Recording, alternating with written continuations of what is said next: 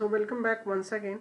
So in this particular session, uh, we will try to solve some other numericals. Okay.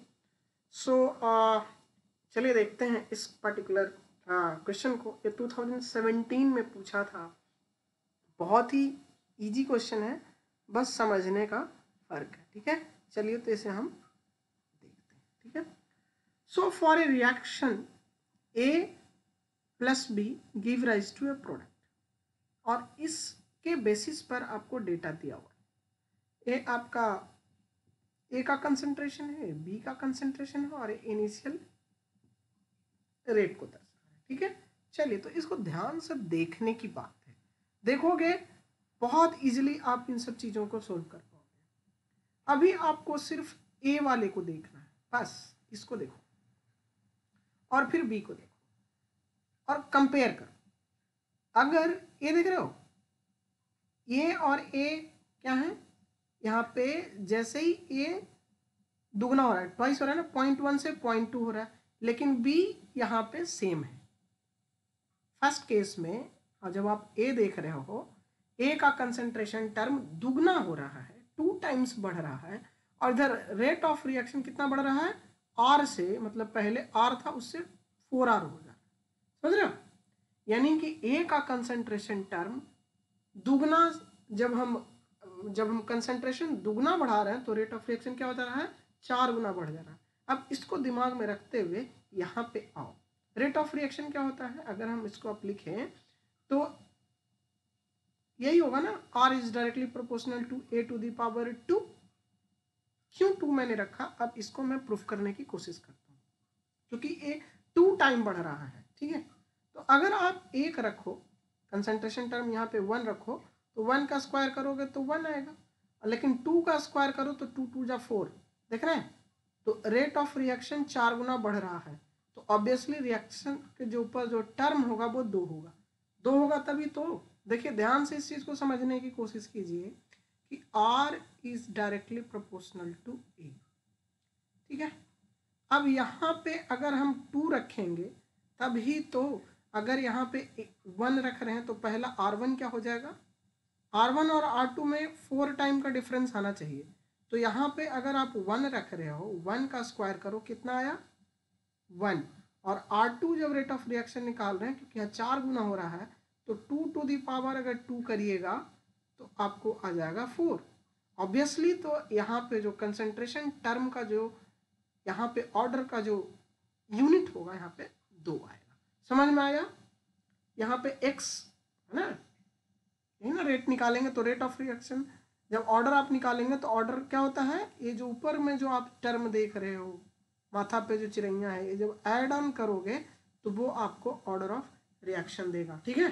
X plus Y equal to तो A to the power to हो गया, ठीक है? ये ध्यान में रखना। अब सेकेंड टर्म को फिर से ये सारा इरेज कर देंगे, तब आप अच्छे से देखो अब देखो बी को। बी ज़ीरो से टू हो रहा है तो ए सेम रह रहा है। देख रहे हैं? बी जहाँ टू टाइम हो रहा है तो ए पे कोई फ़र्क नहीं पड़ रहा है, लेकिन रेट ऑफ़ रिएक्शन सिर्फ़ दो गुना बढ़ रहा है।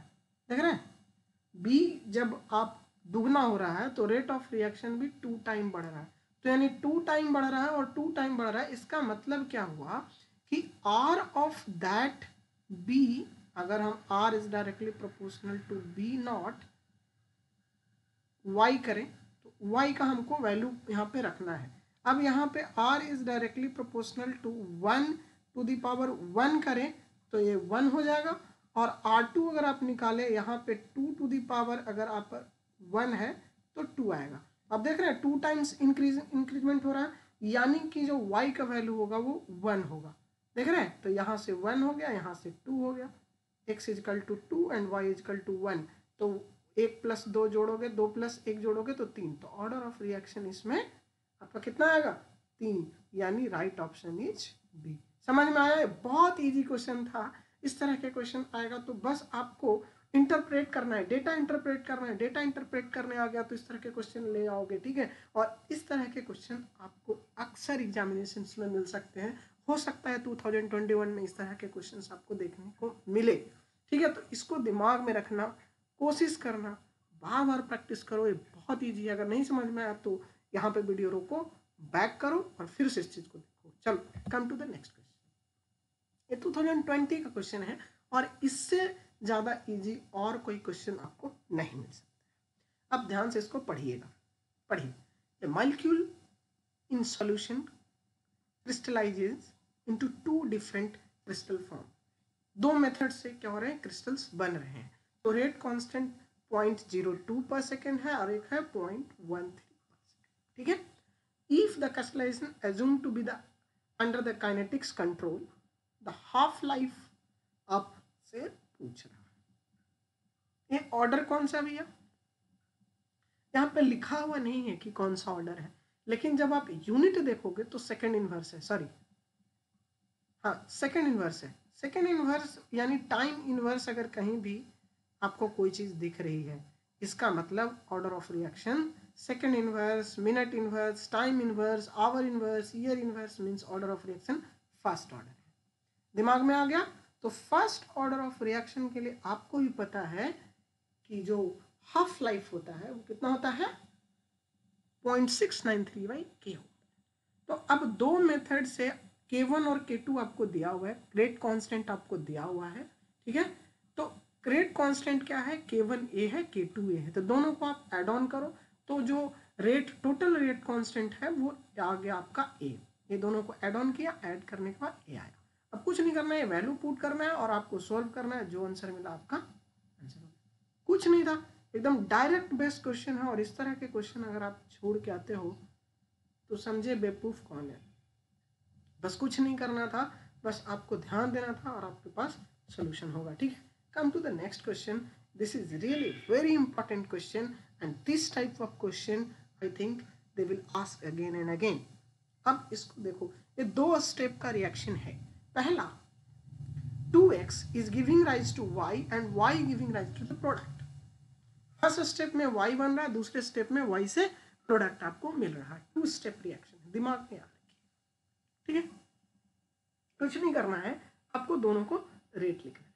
तो rate of reaction is directly proportional to the substrate concentration तो अगर आप इसका आप निकालने का कोशिश करेंगे तो R is directly proportional to Y इसके केस में अगर पहला देखें तो ए हो जाएगा। ठीक है? तो वाई तो आर ए आपने ए लिख लिया। ठीक है? अब सेकंड केस क्या है कि के इक्विवेलेंट को हम लोग एक तरह से और लिखते हैं प्रोडक्ट बाई सबसेट कंसेंट्रेशन तो फ़र्स्ट स्टेप को आप ध्यान से देखिए। तो फ़र्स्ट स्टेप क्या कर रहा है? वाई से टू एक्स से आ रहा है, ठीक है? तो ए टू कहाँ चला जाएगा? पावर में चला जाएगा। तो वाई के, जब इसका के इक्वेलेंट आप लिखेंगे तो के इक्वेलेंट कैसे आ जाएगा? वाई अपॉन एक्स स्क्वायर और अगर इससे आप वाई निकालें तो वाई का वैल्यू क्या आ जाएगा? के इक्विवेलेंट इंटू एक्स स्क्वायर अब इस पर्टिकुलर वैल्यू को उठाओ और कुछ मत करो। यहाँ पे y का वैल्यू पे, यहाँ पे रख दीजिए। तो k is the rate constant okay तो rate constant into K equivalent X square अब आप देखो, r को हम डी बाई डी भी लिख सकते हैं। अभी अभी आपको बताया था रेट ऑफ़ रिएक्शन लिखने के लिए तो D P by D T हो गया। रिएक्टेंट का, चाहे तो आप माइनस लगा सकते हो, क्योंकि रिएक्टेंट का है। Sorry D P D P D T यानी प्रोडक्ट का है तो यहाँ पे पॉजिटिव साइन होगा। तो ठीक है तो K rate constant into K into X अगर इस तरह का रिलेशनशिप आपको कहाँ मिल रहा है तो ए रिएक्शन का जो ए पार्टिकुलर आपको मिल रहा है, वो डी ऑप्शन में मिल रहा है तो राइट ऑप्शन इज़ डी समझ में आया? एनी प्रॉब्लम आई थिंक आपको यहाँ पे नहीं आएगा। अगर आ रहा है तो फिर से पीछे जाइए बार बार देखिए, आपको ये चीज़ क्लियर हो जाएगा, ठीक है? तो आई थिंक आपको समझ में आ गया होगा। तो thank you so much for stay tuned with Harsh see you soon in to the next bye take care okay